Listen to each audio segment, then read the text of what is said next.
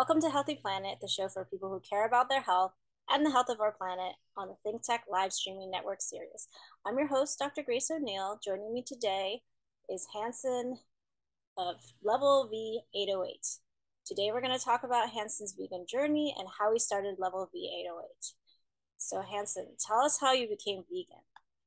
So, um, let's see, 2017, I think was the first um, my v- vegan anniversary. Really, um, it started. My other half, uh, my girlfriend at the time, was pescatarian, and um, I was trying to do some research to convince her to start eating meat with me again. so that's literally how it started. So I, after, you know, going over, you know, through research, I'm a science-based guy. So I was going through the research and I told her, uh, I think I just told myself I need to stop eating meat. So that's that's literally how how the journey began. So I, I you know, I started doing a lot of research, a lot of um, you know, a lot of the documentary. I read the China study. I did a, a whole bunch of self reading, I guess you could say, and then um, yeah, I just kind of made the decision. I was like, you know, I'm gonna try it, and um, that's what got me to you know start being vegan. And then I think um, what kept me vegan because I think there's two different things. What I think what kept me vegan, I went to a um, um, uh, a animal save, a, a save, a save movement, and um, I got to experience um, you know the um, the emotions that go into the animal industry and, and then I, honestly after that i was pretty much ch- changed. Uh, i was in i kind of made up my mind never to go eating meat again to be honest. So um, yeah i came for the health and i stayed for the animals. Mm-hmm. and then i mean how about how did your family and your friends react? Like i'm sure your girlfriend she was probably on board with becoming vegan or your yeah so i mean a couple days after i decided to go vegan she became vegan. And then uh-huh. um uh it's tough because I think growing up in Hawaii or growing up with any, you know, family has cultures and the culture kind of revolves around food. So it's kind of a culture shock, you know. And my dad is an immigrant from Vietnam, so he doesn't understand the concept of uh, veganism. I guess when it, when it, when there's an abundance of food and and other things here and here in the United States, um, he kind of th- saw it as more of a, a like a Buddhist monk journey. So because there's a lot of Buddhist monks in but I told him, no, nothing like that. I just, you know, want to eat healthier. And I had a son. So I have I have a son and I want to be around for as long as possible. So I told him, uh, I told my my dad, who's kind of the harder of my both parents to kind of convince. I told him, you know, this is for my health journey, and um, I want to be along around around a long time for my son, really. And then my mom is a caring mom. She's just, yeah, you, you do you, and I'll support you. And um, that helps. And my, my, my, I mean, growing up in a you know Asian Asian culture, I guess you could say, we didn't eat much meat anyway, so it was kind of easier. But I guess when it comes to um, family gatherings, it is a little difficult. But um, the good thing is that uh, a year or two after becoming vegan, I took my son to um, Fest, and I let him kind of roam around when I was waiting in line. And he came back. He said, "I watched the video. I think I'm going to try it." And he's been vegan since for the last four years now. So, so how old is he? He is now a junior in high school. So he oh, started wow. when he was a seventh grader, seventh grader in high school. Nice. Yeah. So, so how, are his friends reacting to you know, it? Better than I thought. You know, I, I think um, they, they come in an age where bullying is a bad thing, you know, so yeah. um, they're more interested and they're every time he he brought his lunch out, he would um they would all kind of like see what he's gonna eat, you know, and that was kind of my motivation to kind of start cooking better, I guess you could say. I always enjoyed cooking, but uh, I, I, think I put a little more focus into um, local style foods so my son would never miss out on anything that his other friends would enjoy. So that's kind of how I started all my different recipes and things like that, just just to make sure that my son wouldn't feel left out really. Yeah. So tell us about how you began your business then. How did yes. that start? So um, my business is a result of the pandemic you know so it, i had to pivot. Um, i'm in the event industry so i have two companies. Um, one in the marketing of nightlife and concerts and my other company is a production company. We do sound stage lighting special effects. Um, we do weddings and you know school proms and things like that. So once pandemic happened it all you know stopped really. So i had to find out another way to source income for my son's tuition. He's over at Marino right now. So, you know, oh. you know, business stops, but tuition doesn't. So that's for sure. so, so I, I wanted to find out um, another way to uh, have an income, and it started off as a fundraiser. I wanted to, you know, make tuition, so I I made a um, I happened to make a vegan beef stew that pretty much tastes like regular beef stew, and um, I kind of put it out there just for my family and friends more so than the vegan community, and I posted it up online, and then um, my friends posted it up online, and then all the other the people outside of my circle, all the vegans started to hit me up, and it became a thing. So I was making started off with you know 10 plates and 15 plates and 20 Mhm. plates and 30 plates and it just started growing from there. And then um i realized it's sustainable. The, the business model is sustainable because i think um there's a a niche in uh, local style vegan food i guess you could say. Not many people were doing it at the time. Yeah. Yeah, I don't think I don't know anybody else who's doing it really. I mean, Ye- besides you, are there other people yeah the there's a there's a small handful. I know um badass burgers makes plates. I know um Yeah, yeah umeke market does one or two plates but i i was trying to like i was just trying to recreate all the recipes i was making for my son to take home you know to take home lunch to for to school I mean, will you offer like the drink? And um I don't know if you have any pictures, um, Eric, but uh yeah that last the beef stew picture. the yeah, and then there's like a rice on the side and hmm the yeah main entree and you know, so Yep, it's I wanted it to be like a regular plate know? lunch. So it comes with two scoops of rice, your potato mac salad, which is 100% vegan, and I also include a drink. Um, for the package deal is um, it, it comes with your 100% of vitamin vitamin B12 because Yeah. it's so hard to remember to take B12 you know pills, and I tell um, and my son too is he's an active teenager, so he never remembers. So I kind of wanted to incorporate it in the meal, so you get your daily dose every time you eat with level V. Yeah, I mean, so what do you, what kind of, what do you use for the meat? I mean, like when there's beef stew, what are you using for the beef? Are Yeah, so? Yeah, so a lot of it's it's mock meats. Um, the beef stew is um a garden mock meat. So I pre-treat everything. It's all marinated and smoked, and then as well as the um as well as the, I use um a Beyond patty. Um, the famous one is the katsu, and it, it's just actually portobello mushrooms. So that looks really good. I it's wish you it's could the do a best seller. gluten-free I mean, it, it is the best seller. I mean, there. I That, mean, that looks delicious. it, it go I think my husband had pre-order. that. He was like, "This is delicious." No, yeah, it's it's crazy. I, I you know, um one of my favorite things was chicken katsu. So that was the recipe I was trying to hone and perfect. And Yeah, um it's way easier now. There's so much like um replacement meats and you know uh, mock meats that it, it's um it's really easy easier nowadays to kind of make certain dishes. But I found out that the portobello mushroom just locks in that juiciness. So it, it when mm, you when you fry it, it just comes out perfect. yeah, that's awesome. I mean, I, you know, I always have trouble. I don't know. Do you deep fry it or how do you get the the um little panko to stick on it? Yeah, so I use an egg replacer. So I use a um a specially modified Oh, egg replacer. So I use it just like an egg batter, except you just got to work with the consistency to make it yeah, right yeah. the right batter. That is the hardest thing is the the getting the Get the panko to stick without Yes. making it turn into cake. Uh, I I had so many trial and errors about I ha- I was Uh-huh, eating like uh-huh. mushroom cakes. It was for a little while, Yeah, but yeah, yeah. yeah, but you I bake it it or what? I mean, how do you like get it, you know, deep fry? Like, how do you get it to look like that? It's just, yeah. So this it's just regular um I grew up eating, you know, katsu and tempura, so it's it's in a wok, like it's oil oil fried wok, you know, in a wok. oh, yes, yes, Yeah, yes, yes, yes. You put it in the yep, little, my mother yep. used to do So it's that. a Yeah. huge yep. I, I I try to keep things as original as possible, so it comes out as you know as similar as possible to um the original recipe. And then you know there are a few things that you have to kind of tweak just because it is a mock meat or is an actual you know actual meat. So yeah, So, did you find that after you became vegan, did you feel any changes in your body yourself? Yeah, 100%. I mean, you when you first go vegan, you kind of get that initial rush. You know, you you feel more energetic, you sleep better at night. Um, and I guess honestly, I think it's a peace of mind too. You, you know, you have a you have a better understanding of passion for other people, so your your mind is a little more free, and I think that makes that takes a a, a big relief off your shoulders, and you sleep hmm better, to be honest. So, Yeah, um, yeah, absolutely. definitely. Yeah. Have you been able to um, get any of your friends to uh, follow your path or your family Yeah, I mean. I I mean, I would say the majority of my businesses are non-vegans. They they they I mean, to me, I that's why I pat myself on the back. If I can get a That's awesome. non-vegan to That's eat vegan Yeah. food and not think it's vegan food and the stigmatism of vegan food, I think I already won the battle, you know? So I, I think it's um my one extra step in uh in my uh my my vegan campaign for to push the agenda. But um, yeah, yeah, I mean, there there are a few people that that definitely eat less meat. Um, I think people have are on the way.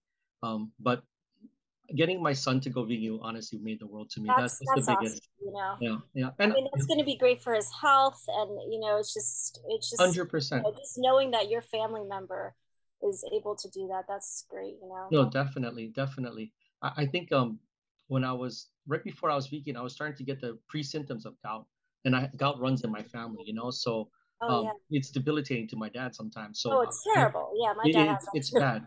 So yeah. I once I you know started eating all plant-based 100% vegan you know the the that whole worry is gone i can eat a little more freely i can have you know a, a peace mm-hmm. of mind without getting a flare up you know things like that so that definitely changed definitely and uh, honestly the biggest thing too is um i remember when i took my son into the doctor for the first time for his physical and then um he he he, he jotted down the notes that my son became vegan and then by his second follow up, he you know he he was really astounded that he like uh his weight index went up, his height index went up. Like yeah, he's like, oh, that's weird. I thought you you you lose you know so much weight because you're not eating meat, and I was telling him like.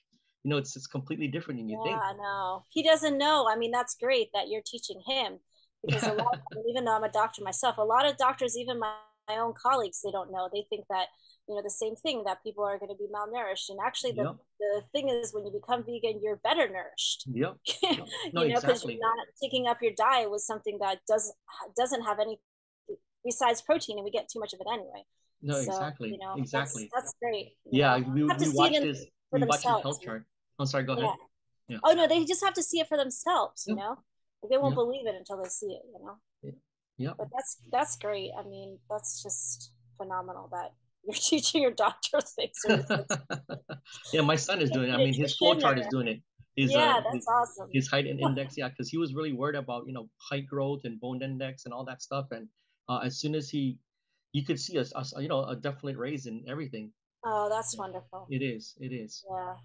So tell us about the, um, you know, I know right now you just do Fridays mm-hmm. uh, for lunch, but is there potential that you're going to expand to other weekdays? You, you know, definitely. Um, the demand is out there. So um, I'm kind of like burning the candle on both ends out because now business, know, are, right? business is booming. Like uh, every all the event business, it's all back, you know, double because everyone's trying to make up from last year. But man, it's like um, I started to do catering gigs. I'm getting um, uh, also um, uh, offers to do different pop-ups and things like that. So I mean, the the angle was either always going to be either a permanent spot or a food truck or something to that effect. But uh, the market is so crazy right now, so I'm think I'm going to stick to just you know pop-ups on different days and um yeah offers to come into um, other restaurant spaces during their off time. Oh, you so, totally should do that. I think um there's that one that's um a bar. You know what I'm talking about? They're very vegan friendly. It's in um kind of like McCully. Yeah, um Osoyami. Oh, so Yami, yeah. Yeah, no, definitely. I, I am. Um,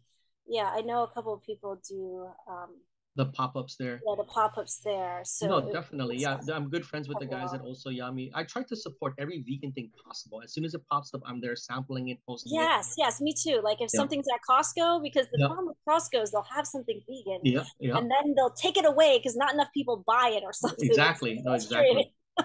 yeah. Like when they had kale chips. Yeah. Yeah. So, I mean, I'm wondering how about catering at the events? Do you think you could run the event and then also, I don't know if anyone's proposed that to you, but I think yeah, that there was a, a, couple offers. There was a couple yeah. offers. You know, the, um, shucks, it's just that the production level, like it's, it's just me and my mom, really. You know, um, I do most of the cooking. If it's the katsu, because there's so many orders, my mom yeah. helps out. Uh, but other than that, um, it's so it's just really tough uh, for at that at this point right now. But you know, I had to turn away. Um, I was supposed to cater HPU's uh welcome ceremony. That's like thousands of students. And oh my gosh! Because HPU has a lot of international students, and there are a lot of them are are vegan, That would have you know? been awesome. I know. So I had an event somewhere else that day, and I was just oh, trying to organize no. it. And I oh. I told them, unfortunately, there's no way I can do the amount of orders you want oh on the gosh. day. But you know, there's things like that where I'm just trying to get to the point where I can accept those kind of things. You know.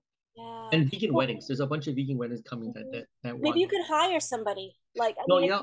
Events like that, like you know, just per diem for now. Right. they could help you out, or you could like um, you know, go with another pop up into something like that, and then people right, right, right. options. You know, I mean, I don't know. I'm just thinking about it. It's such a shame for you yeah, know, I know, expose all those people to exactly. Um, something exactly. that could be, you know, really good for them. yeah, exactly. I think a few students tried it and they went to their counselor said, "Hey, this is the this is the things we want," you know, and they kind of wanted a local feel. They want they're here visiting from all these other places. They wanted something local. So yeah, you know, yeah, yeah that, that that's definitely in the works. I'm trying to work with different and Osoyami is one of the kitchens that actually offer too. So they're super supportive of the vegan community. So I'm just mm-hmm. trying to mm-hmm. find out a way where I can get to that level where the production can be that at that level.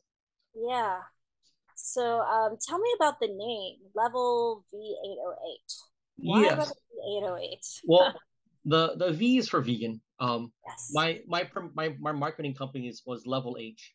Um, and then when I be, when I became vegan, I wanted to do a vegan business. It just made sense to be Level V for the vegan, and the level is just always progressing. That, that's that's that's the um, foresight that I want to have is just make sure I'm I'm always moving forward and looking you know to the next level instead of being stagnant where I am. I mean, I tried to Google it, and there was something online about level B or level five being like the greatest thing to attain as a vegan, I guess, being like the perfect vegan. I was like, is that what it's about? Or why level V808? That's great. Oh, though. I didn't know. I didn't know there was a thing out there. No, yeah. Yeah, just, I mean, there was something was... out there like that. I found it on a website, but I didn't oh, wow. what was Oh, wow. Maybe, maybe that too then. No. Yeah.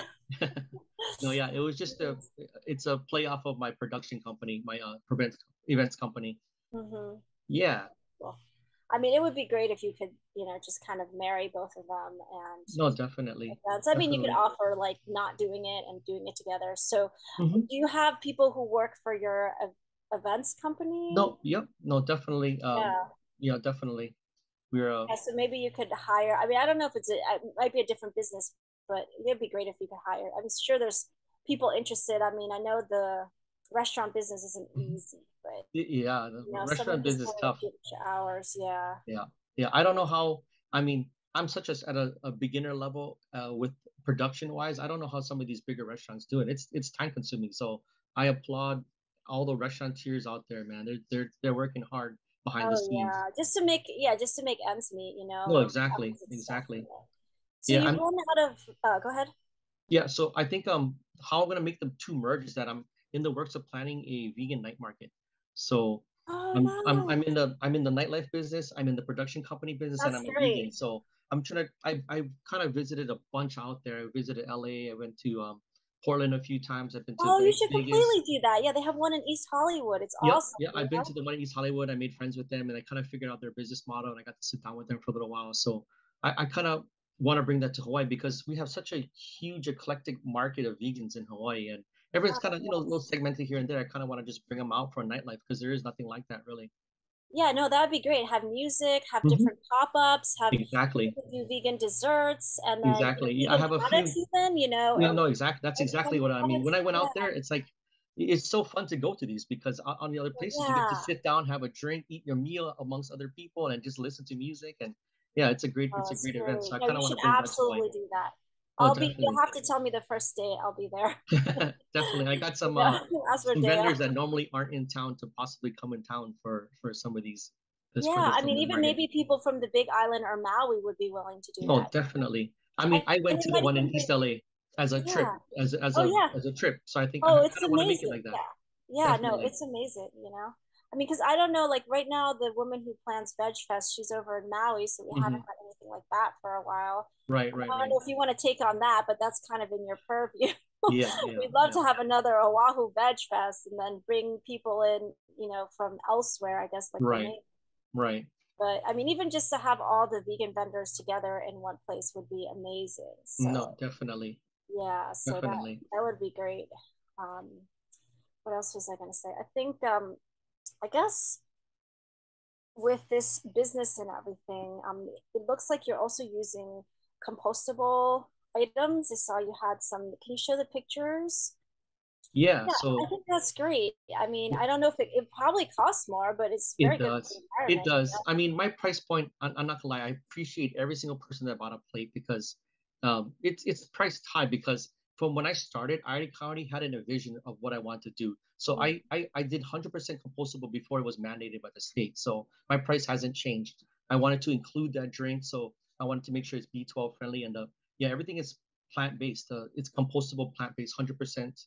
You know, put in the earth, compostable, not going to a factory. So yeah. I sourced. Um, I mean, now that there's easier options because of the new mandate to go compostable is great. Um, I sourced a, that Moxie bag out of Brazil. It's hundred percent. Yeah, it's it's it costs money to bring in, but I feel it's worth it. You know. Um, yeah, no, it's absolutely and, worth it. And I I priced all of that into when I first started. So the good thing is that I don't have to change my prices. It's, everything is as is. And mm-hmm. I think um when I was watching uh other other vendors and also other restaurateurs, they're saying that most people just want it all inclusive. Just give me everything, yes. you know, instead of yes, yes. little things, you know, instead of like, you know, adding little things. And, yeah. You know, they said, I'll pay their price. If it's cost. worth it, I'll pay their price. I'd rather just pay it all at once. Yes, so, yes, you know, absolutely. I, I, like that. I appreciate that. And I, I, for me, when I go to other places, I like to save the sauces because it's hard to get vegan like fish sauce or vegan mm-hmm. like yes, sauces. Yes. So I kind of do the same. You know, I, I give like 12 ounces of gravy, like a soda can worth of gravy, because mm-hmm. you can mm-hmm. use it for whatever dish you want later on. It'll save you time for the next meal. I just want to make it easy for people to stay vegan and become vegan as, as best as possible. Yeah. Yeah, and you know those compostable um, containers you use, they really are compostable because sometimes I'll put them in my garden. Like mm-hmm. I'll put the little container, I'll plant stuff in it, or and then or I'll put it in my worm bucket, and it mm-hmm. really does compost a lot easier than those. Um, sometimes people have cups and they have a little liner inside, mm-hmm. mm-hmm. Um, and that liner is not compostable. No, yeah, exactly. Those other products are now. The only thing I guess is the vitamin water has that plastic. Plastic bottle. Yeah. Yes, I'm trying to find something other than Vital Water that has 100% B12 in it, but that's that's yeah, it. no, it's it's definitely a challenge. You know? It is. It I mean, is. I guess if you had something with nutritional yeast, that's but it true. doesn't have 100% though, you know, but it would be like some kind of B12. Right, um, right, right. Yeah, though, no, that is a challenge because the plastic too is a problem. Um, but I appreciate your efforts to find something compostable like that because there's a lot of places that are vegan, but their their packaging is not as friendly. But I will say right. the places that are vegan, their package is generally friendlier than places that are not because people are more aware of this problem that we have, you know, that is true. The environment and everything. So tell us about how you got your kitchen certified. Do you go somewhere else to cook or is it like did you have to certify your kitchen there or Yeah, so I I um, have a support kitchen in Chinatown. Um, mm-hmm. a family friend lets me rent their kitchen and I make everything there before they open for business and then I I have a catering license, so I bring it back to my house and I put oh, everything nice, together nice, here nice. and I serve it here. Yeah, when I first went down to the um, the the food board or food department or health department.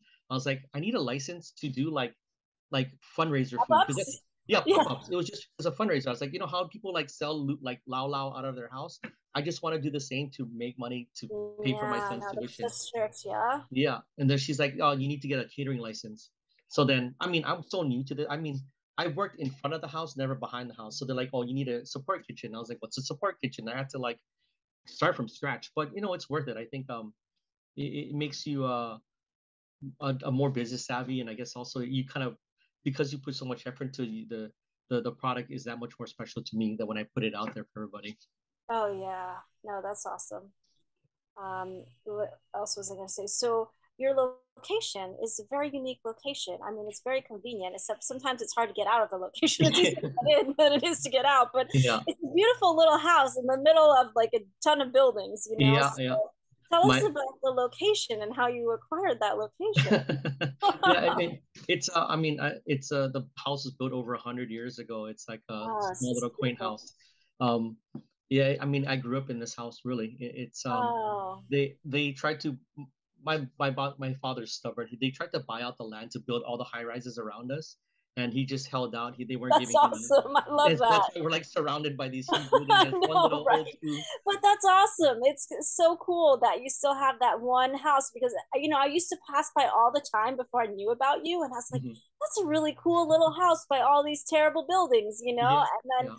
Now, I mean, then I went. I was like, "Oh, I guess like these people must." I didn't know if you rented it or owned it or whatever, right, right, but that's so cool, you know. I mean, yeah. it's it's such a cool little house. Yeah, yeah. Yeah. Yeah. I moved here um, so I could ride my. I went to Punahou, so I ride my bike to school every day. So we moved to Oh, town so I could just my, my parents worked two jobs growing up, so I had Mhm. to kind of we got me closer so I could ride my bike to school. But I, No, I love it here. awesome. It's like a they call it a ginger. My parents call it a gingerbread house. It looks like a gingerbread house, but it's so convenient for everything, honestly. It is. It's right in the middle of town, convenient. and um, my mom becomes the uh, traffic controller, trying to get everyone in and out of the driveway when it's time Yeah, to pick up. No, right. That's always something else.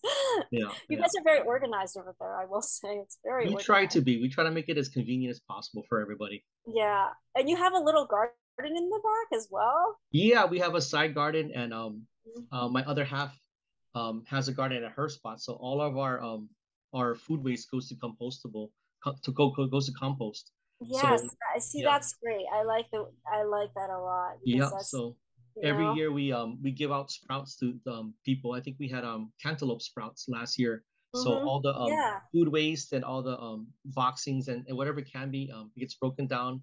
Um there's uh natural worms in there and then uh we we grow cantaloupe and bell peppers.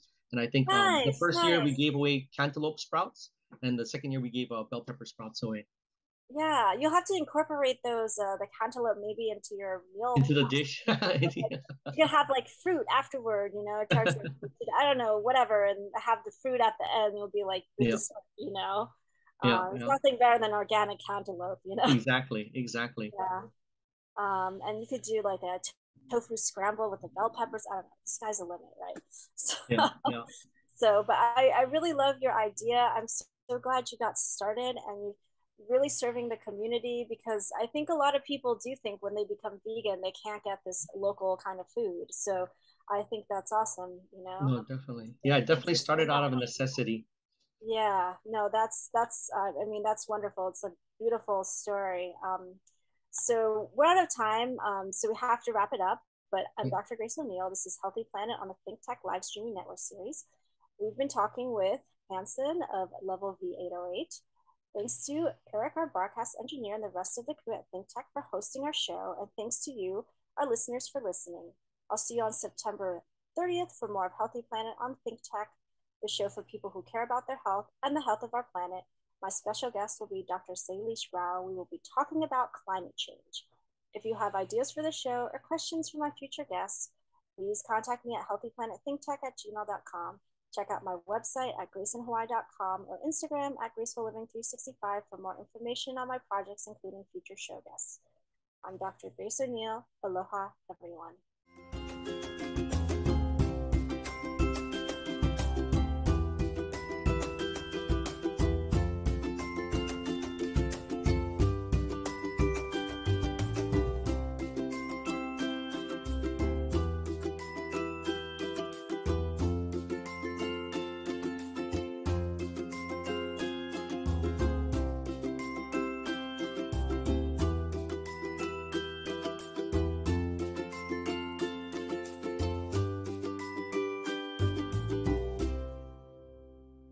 Thank you so much for watching Think Tech Hawaii.